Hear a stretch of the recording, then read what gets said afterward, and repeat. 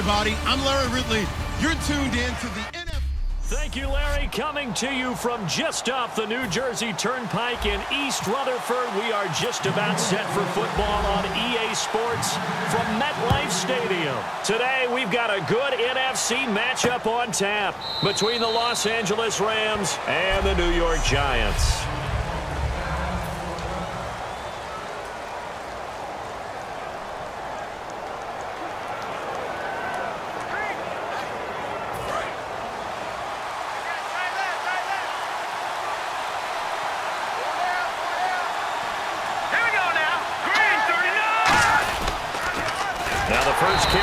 for Todd Gurley. And he will lose yardage on the play, back at his own 19-yard line. That's going to go as a loss of six, and it'll set him back for second down. When I watch plays like that, I give a lot of thanks that my DNA did not make me an offensive tackle because that is a very difficult job to hold your block against a really good defensive end and hang on to it. And nothing but green grass here, middle of the field. Touchdown, L.A. Kenny Britt, an 80-yard touchdown. And the Rams are going to take a first quarter lead. Well, that's how they envisioned it, get the football to start the game and score it. And I don't know if that was scripted. Was it an audible? Or was it just a play call that they had in their pocket? No matter what, they had the right call on against the right defense, and they end up in the end zone. Now after the touchdown, it's Zuerlein. He'll kick it away. Bobby Rainey now to return it. And he's up past the 20 to the 22-yard line.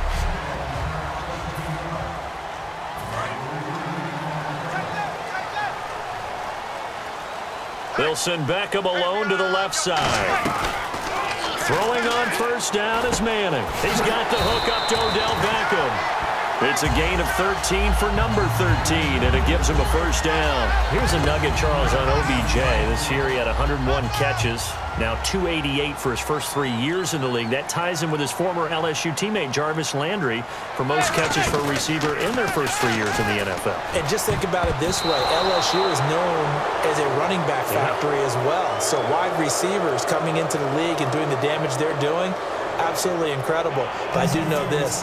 OBJ will tease his former teammate and say, don't forget, we're tied, but I missed a few games my rookie year. If I played those games, I'd be way ahead of you. They'll wind up losing a full 10 yards on the play. Working from the gun, Manning. To Shepard, complete over the middle. And a pretty little juke move there, but not a ton to show for it afterwards as he's brought down. Second down now after the pass completion.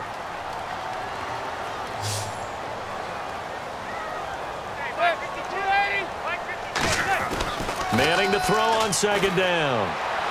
Trying to get it to Beckham, and it's intercepted. Picked off by Mark Barron. And they take over. They'll set up shop at the 46-yard line. Partner, these L.A. Rams, as they come back out here for the next offensive series, They've now missed the playoffs 12 straight seasons. Of course, this last one, their first back in L.A. They were 3 and one, so much hope, but then they lost all but one down the stretch. Hard to believe with a defense that good, but just tells you about the premium that's placed on the offensive side of the ball, especially at the quarterback position. They just didn't have the stability. Even though they drafted Jared Goff, number one in 2016, he'll have to ascend to that number. Be that guy for them in the next season in order for the Rams to finally break that playoff drought. And now they've got some city neighbors in the Chargers of L.A. So now 11 yards to go for this offensive unit. It's second down. There's so many times during camp and practice that you get bored as a player doing regular drills. But how about that shed and skate drill right there by the linebacker? You do it each and every day. Get the blocker away and get into the backfield and make a big-time tackle. That's what we just saw.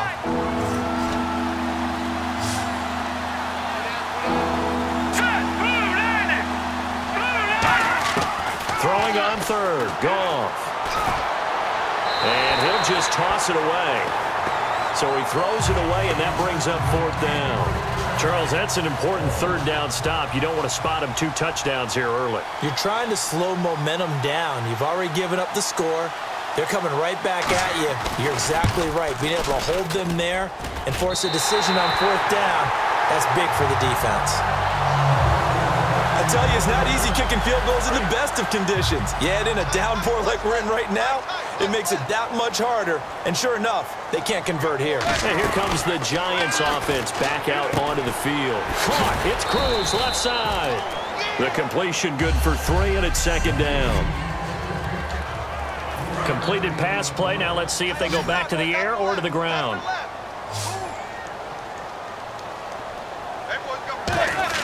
On second down, here's Manning. And that one got tipped, kind of threw everything off. It brings up third. Anytime a ball's thrown in the middle of the field it's popped up in the air, I expect someone to catch. It doesn't matter whether it's offense or defense because there's usually a great amount of bodies in that part of the field. In this case, no one came up with it. He's got Cruz complete. And he's going to get this all the way down. It's alongside Charles Davis. I'm Brandon Gaudin. It's the Giants with a football here as we begin quarter number two. And they've got it here with a first down. On first down, Manning. He couldn't quite hold it. Got hit. Ball pops out, incomplete. Everything looked right on that play except the conclusion. He dropped it. An in route going into a little bit of traffic. Maybe in the back of his mind he was wondering where the hit was going to come from. Throwing now is Manning. Over the middle to Beckham. And brought down, but not before they're inside the 25. It's a gain of 11 yards that time, and it produces a new set of downs. Well, that's the kickstarter right there. Eli Manning finding his guy, Odell Beckham Jr. Yeah, it's a deadly combination, isn't it? It really is, but what really makes it work is just how unflappable Eli is with his demeanor, able to maintain his calm and his poise, because we know OBJ, he can run pretty hot and get excited out there. Sometimes just one-handed grabs for him. It doesn't matter what it is. just throw it up there. He'll go get it. And now the passing game here in the second quarter is starting to heat up a little bit. Don't you feel the rhythm starting to happen, right? You see it. Now the confidence is starting to rise. I think now as a play caller, because that has happened, you lean on it a little bit more. You don't go totally away from running the football, but you do say, guess what? We can throw it. We can throw it well with a whole lot of confidence. Manning, his pass caught at the four. And he'll be brought down here at the three-yard line. Call it a three-yard gain. And they'll be faced with a third and inches. Two minutes to play here in the first half. We're back to East Rutherford. But first, this timeout.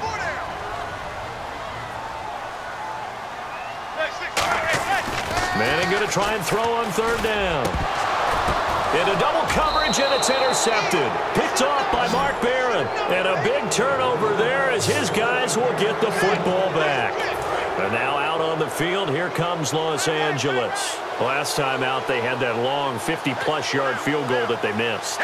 And I'm sure on their sideline, they're thinking to themselves, okay, do we still want to... In trouble, and the ball's out. It's in the end zone loose. And this is taken into the end zone. A fumble recovery and a Giants touchdown. The offense was in a tough spot. An opportunistic defense takes advantage, get the turnover, they get the touchdown too. I know this is going to sound strange, but oftentimes defenses call for this type of a play in this situation. Offense is pinned back near their own goal line. They tell them, be aggressive, go for the football, create a score. That's exactly what they did. And it's a short kick, taken right around the 19. And they're going to start this drive in pretty good shape as they get it up past the 30. So now here are the Rams as their offense comes back out.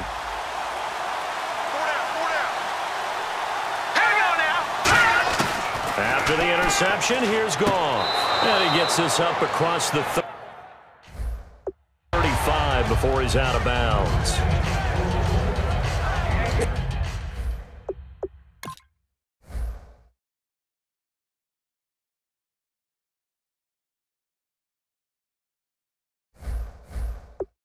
Running out route, it's likely you're going to end up near the sideline. And what did we just see there? Toe tap. Eh, you got it. The benefits of practice. Toe tapping, foot dragging, picking it up, and making sure it was a catch. Dumps it off to Gurley.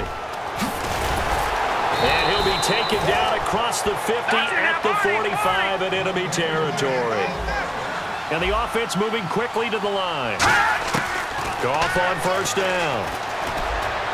And this is going to be caught? No, they say it's incomplete. Brian Quick, the intended target. And now it's second down. Hope I don't sound too rah-rah on that one, but that's the exact right throw.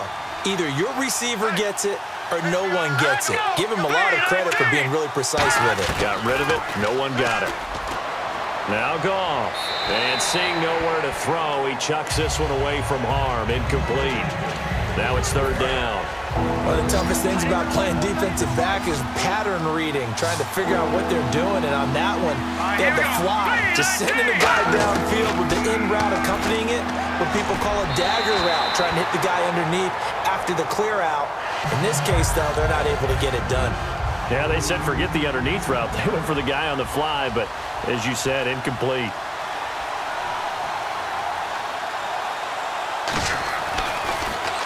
This one's going toward the sideline. They'll try to play keep away from Beckham.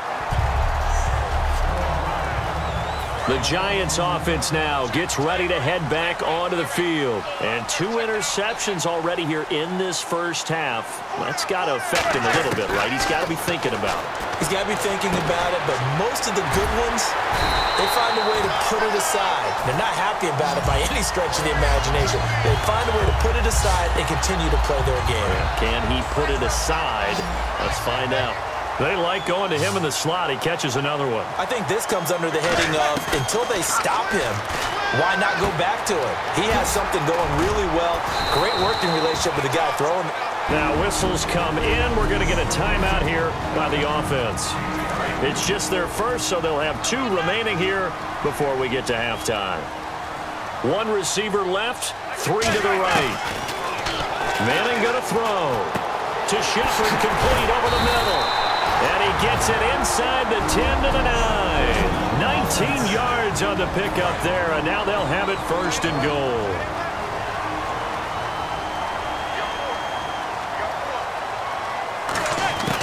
Again, it's Manning.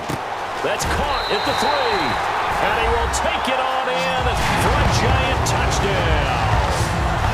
Sterling Shepard from eight yards out. And the Giants have taken the lead.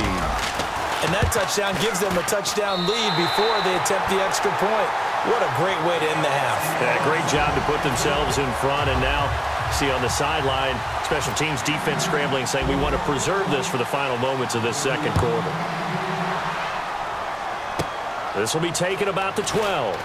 Oh, what a move.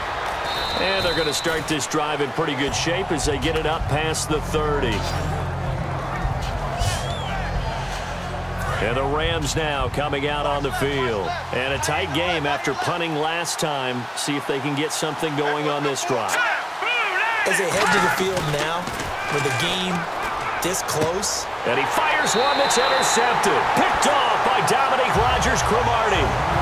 That late in the clock, second quarter, why not just run it a time or two and get it into the locker room? What you're saying makes absolutely perfect sense. Run it and get out of there. But I'm just wondering if the pressure of today's NFL and the high-powered offenses that you're facing may have forced them into saying, let's try and get some more points. A good pickup there, a 22.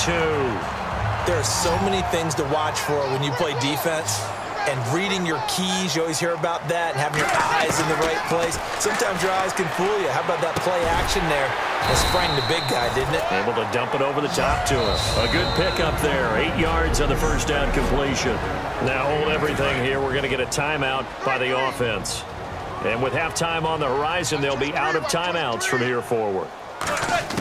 Manning to throw on second down. And only did he drop it, he dropped it in the end zone. I can't imagine we'd see another throw here. Third and goal from the one. They'll put two receivers left, two to the right. Manning to throw on third and one. And for the third time here in this half, it's intercepted. Picked off by Mark Barron. And his guys have got it back at the closing stages of the first half. And that gives him now three interceptions in the game. Well, someone's locked into what they're trying to get done in the passing game. When was the last time we had someone get three in a, in a contest? 2011, wasn't it? Kurt Coleman. Oh, yeah, that's then right. with the Eagles. That's right. Then against the, with the Eagles, and I believe it's against Washington and Rex Grossman. That's correct.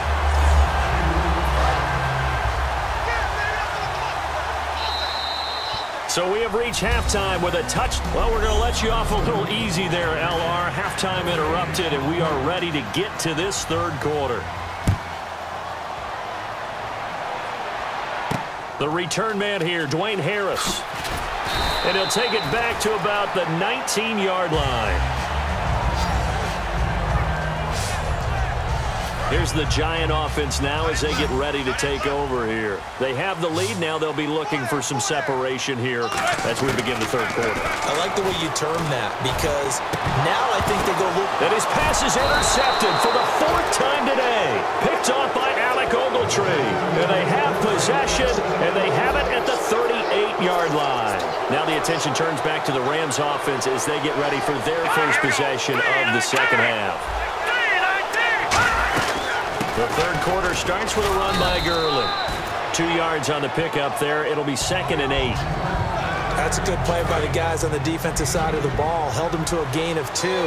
And that changes the playbook a little bit now for the guy calling plays. Second and eight.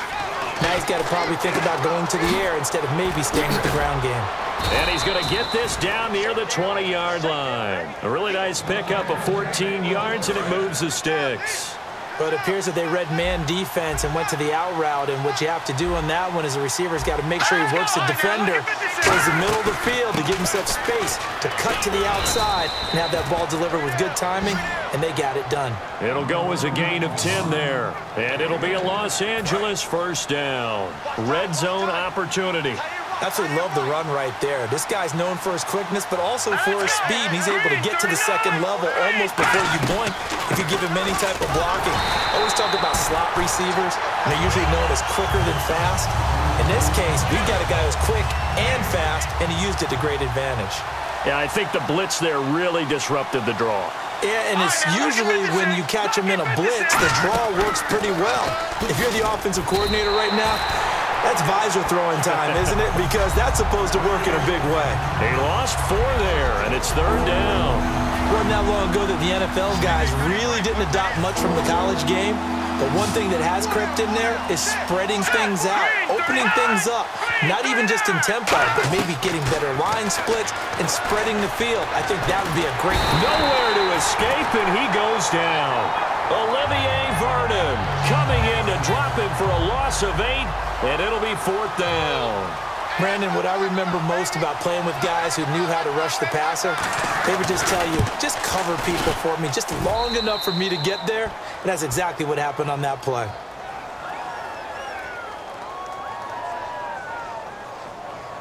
Personal foul, roughing the kicker, defense. And this is going to be roughing the kicker, an inexcusable penalty, Charles. You've worked so hard to hold him to a three-point kick. Now you're giving him the ball again with a chance for a touchdown. Following the penalty, it's Gurley. And he'll get into the end zone. Touchdown, Rams.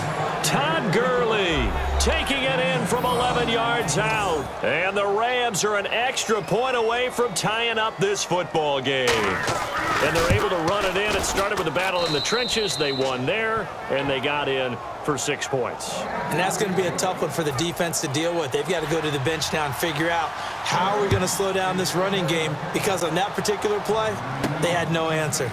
This will be fielded at the six. And he's able to get it across the 20 to the 25-yard line.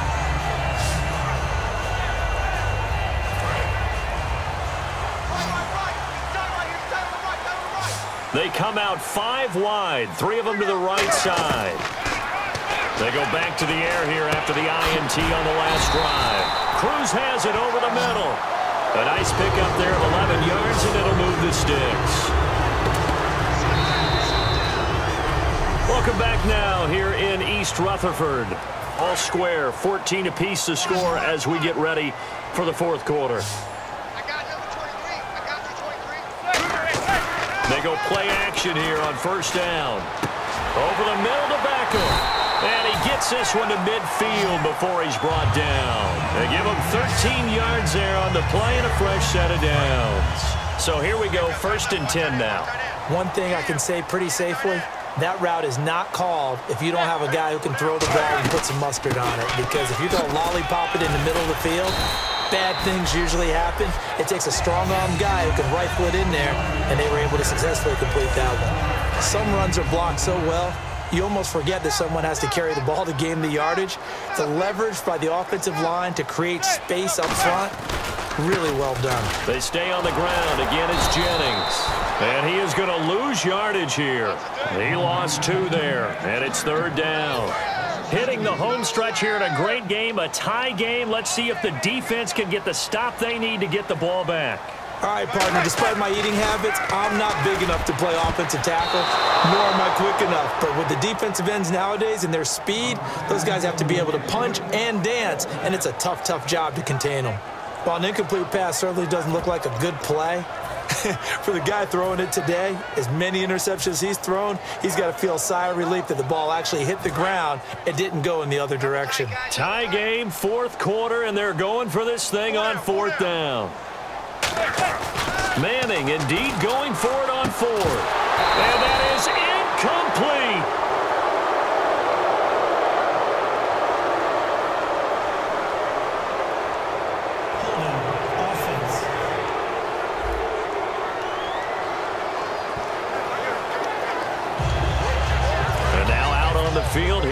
Los Angeles. And they were able to punch it in the end zone last time. They'll be looking to do that again here for the defense. Obviously, they'll be looking to stop them from punching it back in the end zone. It always is punch-counter-punch, isn't it? And which team has it? And this is going to be intercepted. Picked off by Dominic Rodgers-Cromartie. So how about that for a momentum switch? We're in the fourth quarter, and it's a tie game. You've got to take care of the football here. Now their opportunity to take the lead right out the window, and everything is flipped in the other direction. Now a play fake here on first down. And this is going to be intercepted. A great read, and it's picked off. And he is going to get this one back to the 20-yard line.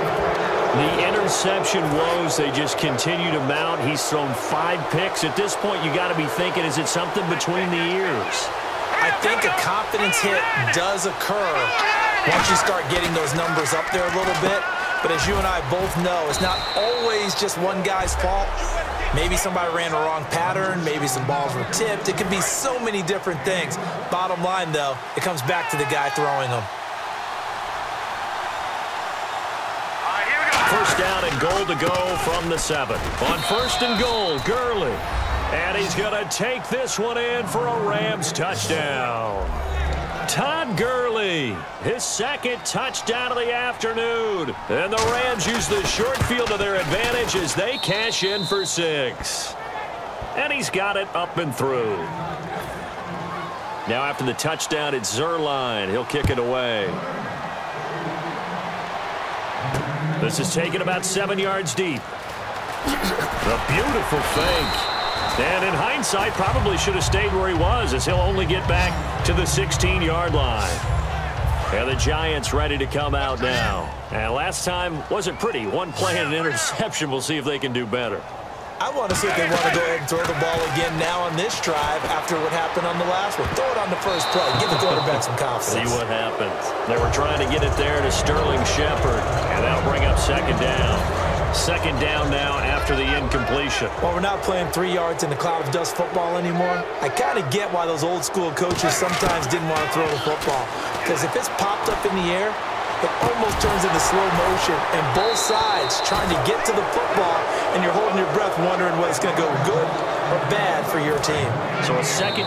Now whistles come in. We're going to get a timeout here by the offense. It's just their first. They've got two more to use here in the final stages.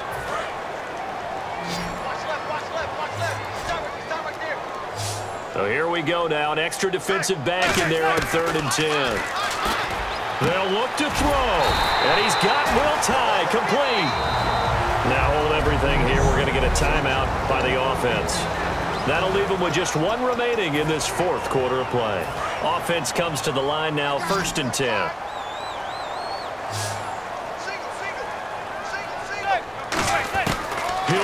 Throw. And, oh, a crusher there as it's intercepted. A great read, and it's picked off. And he will bring it back. It's an interception return for a Rams touchdown. And on that with six defensive backs, did he need to be more careful throwing the football? I mean, I guess obviously in hindsight he did, but... Yeah, hindsight, but even in foresight, when you got six defensive backs on the field, you just know you're going to get multiple coverages. You're never sure what you're going to see. But the biggest one is you don't have much reaction time for your receivers to go get the football because those guys, they're the best cover guys on the field. They go get it. And on that play, they took it the other way for six points. And no run back here. This will be a touchback, and it comes out to the 25-yard line. Eli Manning and company getting set here as they head back onto the field. And right now, probably just one thing in his mind. It's getting back to the hot start because he's really faded. And ordinarily when that happens, the quarterback, as you know, is usually the leader of the squad. Now there's probably a, a silent camaraderie that comes around him saying, hey, guess what? We got you. Don't worry about it. Let's go, big fella. Because they know more times than not, he tends to pick things up, and they tend to play well. Manning will try again on second down. Over the middle, that's caught by Adams. Now whistles come in. We're going to get a timeout here by the offense. It'll be their third and final timeout, so as they talk things over, we'll step aside. On first down, Manning. And this is Shepard on the catch. And he's able to get this one down to the 40-yard line. They'll get 19 yards there. And it's first down, New York. And they're going to hurry back to the line now. Manning now to throw. It's hauled in by Shepard. And he gets this one all the way down inside the 20-yard line.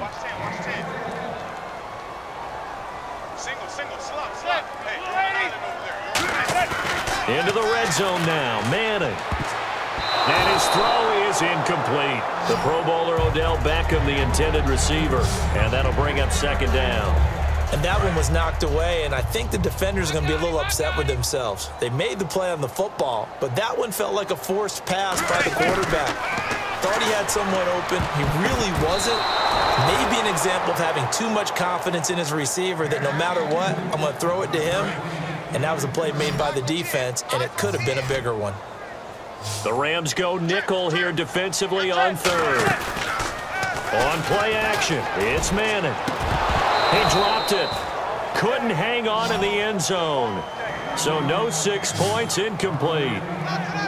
After all the preparation, all the practice, a play like that will absolutely break your heart. They had everything they wanted, just unable to complete it.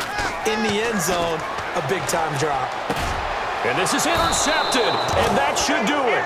A great read, and it's picked off. And a big turnover there as his guys will get the football back. And now out on the field, here comes Los Angeles. The clock cannot be stopped here. Defense can't do anything. So kneel it down, take it home. No doubt about it. It's what you practice for in winning situations each and every week. Victory formation. Take a knee and go on into the locker room and celebrate. Call it a victory.